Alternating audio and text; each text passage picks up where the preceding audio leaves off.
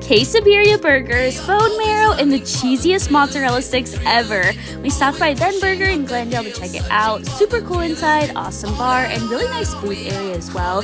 Great food menu here, and they have tons of beer, wine, meat, and cocktails. Started off with the mozzarella sticks. Whoever sent on to play with your food has never had a Then Burger mozzarella stick. These bad boys stretch so far.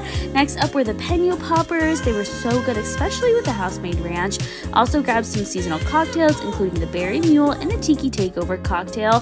For entrees, we had to get the quesabirria burger and dip it in the consomme.